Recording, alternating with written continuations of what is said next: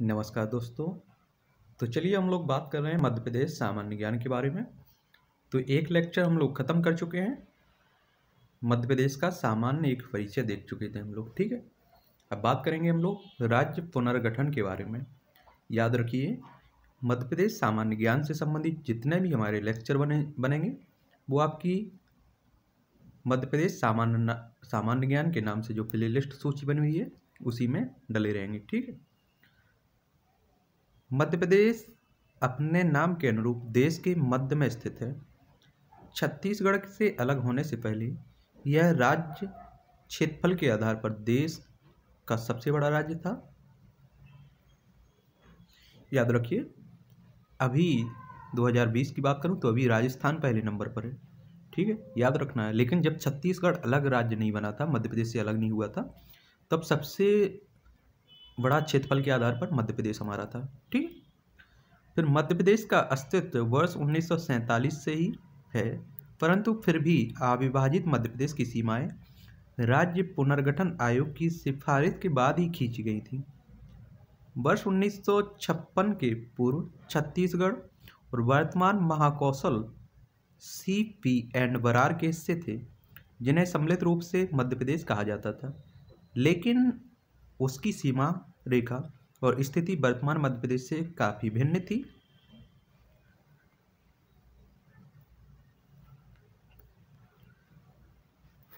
स्वतंत्रता के पश्चात मध्य प्रदेश को ए स्टेट बी स्टेट तथा सी स्टेट में बांटा गया। सेंट्रल प्रोवि प्रोविंसेस तथा बरार में छत्तीसगढ़ और बघेलखंड को मिलाकर पार्ट ए स्टेट ए बनाया गया था। पश्चिम की रियासतों को मिलाकर पार्ट बी, स्टेट बी बनाया गया था।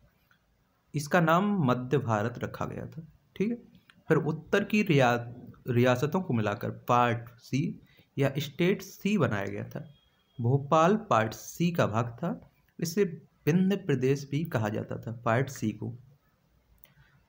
ये स्टेट हैं और ये राजधानियाँ हैं। तो स्टेट ए की राजधानी क्या थी? नागपुर। स्टेट बी की राजधानी ग्वालियर तथा इंदौर, पार्ट सी या स्टेट सी की राजधानी थी रीवा, भोपाल स्टेट की भोपाल। याद रखना, स्टेट ए की राजधानी नागपुर, स्टेट बी की राजधानी थी ग्वालियर तथा इंदौर, स्टेट सी की राजधानी थी रीवा, स्टेट जो भोपाल राज था, उसकी राजधानी थी भोपाल। राज्य पुनर्गठन आयोग का गठन उन्नीस सौ तिरपन में हुआ।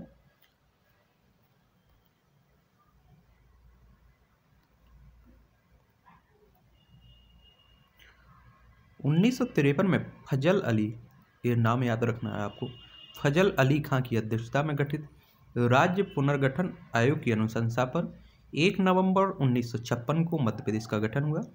राज्य पुनर्गठन आयोग उन्नीस सौ तिरपन की सिफारिश के आधार पर राज्यों की सीमा, सीमाओं में निम्नलिखित परिवर्तन किए गए। बुल्डाना, अकोला, अमरावती, यवतमाल, वर्धा, नागपुर, भंडारा चांदा को तत्कालीन मुंबई राज, मुंबई, महाराष्ट्र में मिला दिया गया।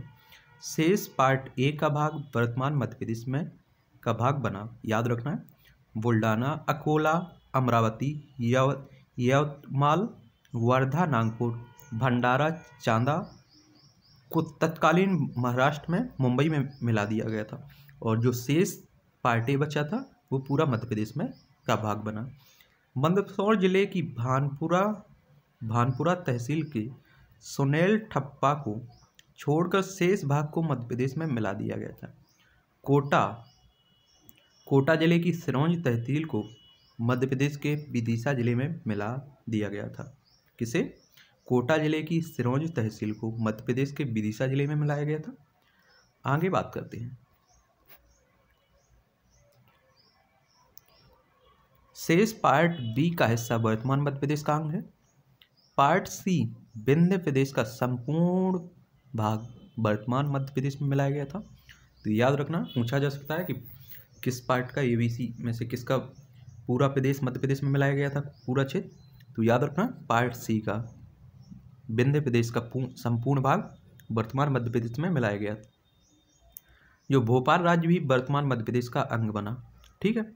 एक नवंबर 1956 को नवनिर्मित मध्य प्रदेश में तैंतालीस ज़िले थे। पूछा जा चुका है कई बार और पूछा जाएगा कि मध्य प्रदेश में निर्मित होने के समय कितने ज़िले थे? तो तैंतालीस फोर्टी थ्री ज़िले थे और आठ संभाग थे। ठीक है? इस समय मध्य प्रदेश का क्षेत्रफल कितना था? चार लाख तैंतालीस हज़ार चार सौ छियालीस वर्ग किलोमीटर। ठीक है? और मध्य प्रदेश सबसे बड़ा राज्य था क्षेत्रफल की दृष्टि से।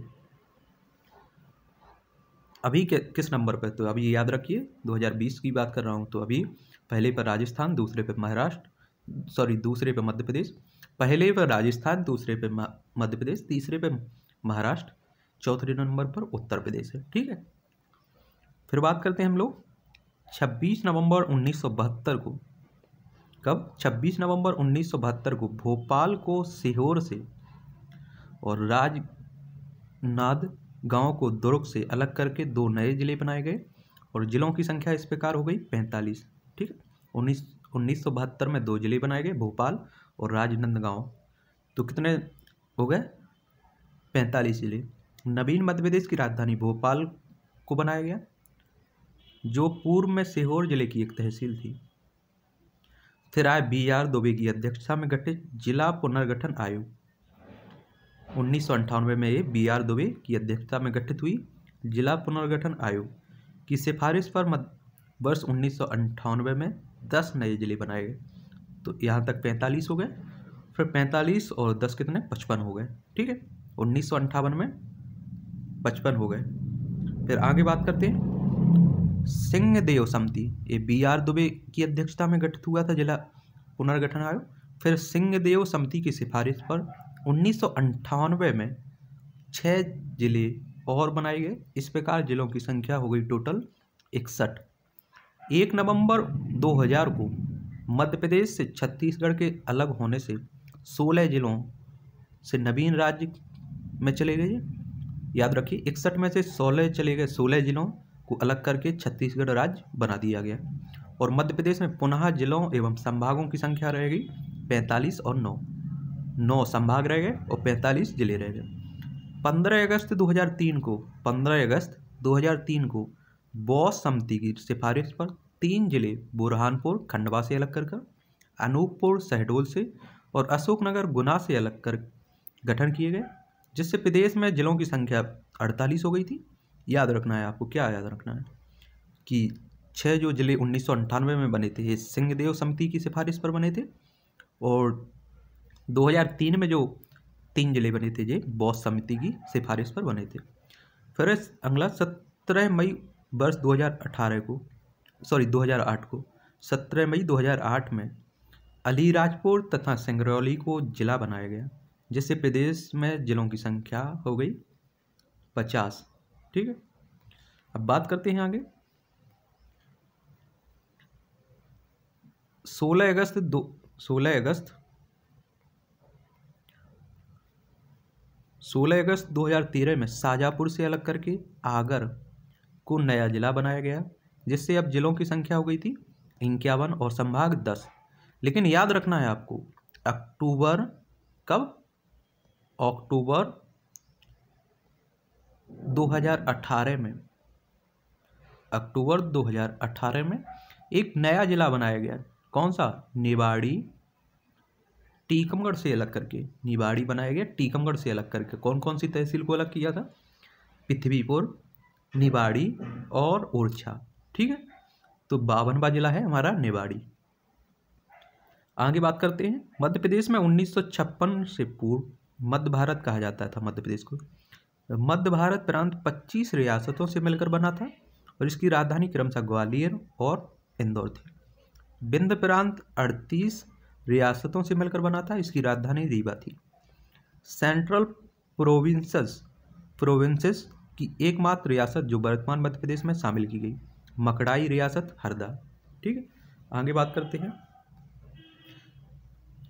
मध्य प्रदेश पुनर्गठन को देख लेते हैं। ठीक है? एक संक्षिप्त में। अठारह सौ सैंतालीस से उन्नीस सौ छप्पन मध्य प्रदेश के स्थान पर चार राज्य थे। सीपी बरार, मध्य भारत विंध्य प्रदेश और भोपाल स्टेट फिर एक नवंबर 1956 को मध्य प्रदेश की स्थापना हुई तैंतालीस जिलों के साथ, ठीक छब्बीस नवंबर उन्नीस सौ बहत्तर को दो ज़िले नए बने, भोपाल और राजनंद। कितने हो गए टोटल? पैंतालीस। फिर 25 मई उन्नीस सौ अट्ठावन को, अंठानवे को 25 मई उन्नीस सौ अट्ठानवे को चार नए ज़िले, बड़वानी, श्योपुर, कटनी, डिंडोरी, मध्य प्रदेश के और छः नए ज़िले छत्तीसगढ़ के तो इस प्रकार टोटल दस जिलों के, दस ज़िले बने उन्नीस में मई में, फिर दस जून उन्नीस में तीन नए ज़िले बने, उमरिया, हरदा, नीमच, फिर एक नवंबर 2000 को मध्य प्रदेश का पुनर्गठन हुआ, और छत्तीसगढ़ पृथक राज्य बना, सोलह जिलों का अलग करके चौरासीवा संविधान विधेयक था एक, संशोधन विधेयक, ठीक? पंद्रह अगस्त 2003 को तीन नए ज़िले बने, अशोकनगर, बुरहानपुर, अनूपपुर। सत्रह मई 2008 को दो नए ज़िले बने, अलीराजपुर और सिंगरौली। फिर है आगे। एक अप्रैल 2012 को,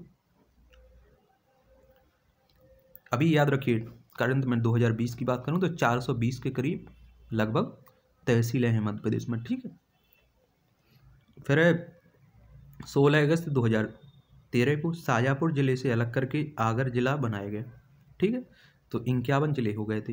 ठीक है? फिर है हमारा 2018 तो अक्टूबर 2018 में निवाड़ी ज़िला बनाया गया। बावनबा ज़िला। कौन सा? बावनबा ज़िला। ठीक है?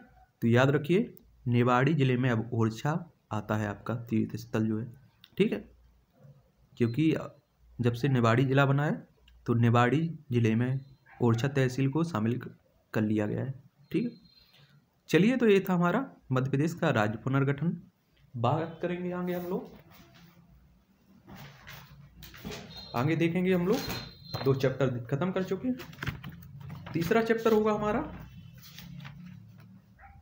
संभाग और जिलेवार, ठीक है? जितने भी संभाग हैं मध्य प्रदेश में और ज़िले हैं, उनके बारे में एक हम लोग डीपली नॉलेज देखेंगे जानकारी प्राप्त करेंगे। ठीक है?